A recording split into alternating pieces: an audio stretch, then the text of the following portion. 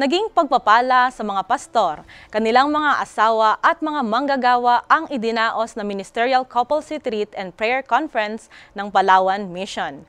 Ito ay ginanap sa Tagkawayan Beach, Puerto Princesa City kung saan ang mga nakapaloob na programa at activities doon ay nagdulot ng bagong inspirasyon sa kanilang pananampalataya at paglilingkod.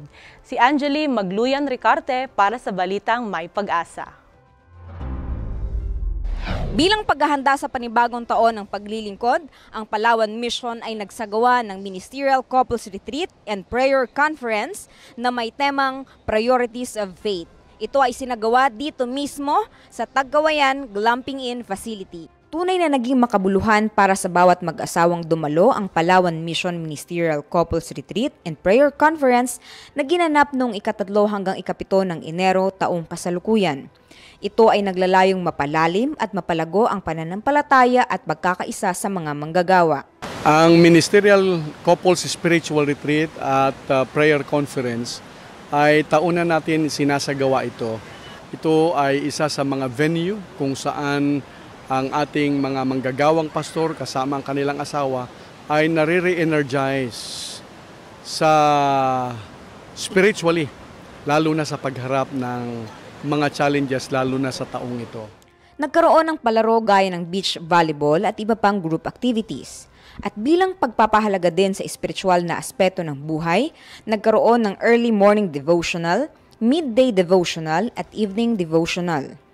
Ang mga tagapagsalita kabilang si Dr. Pavel Sobkov, Profesor ng Adventist Institute of Advanced Studies ay nagbahagi ng napakahalagang mga pananaw sa pag-navigate sa mga hamon sa paglilingkod sa Diyos at buhay mag-asawa. Yung aking natutunan ngayong couples retreat na ito ay isang pasasalamat na napagtanto ko na napakahalaga yung interpersonal relationship.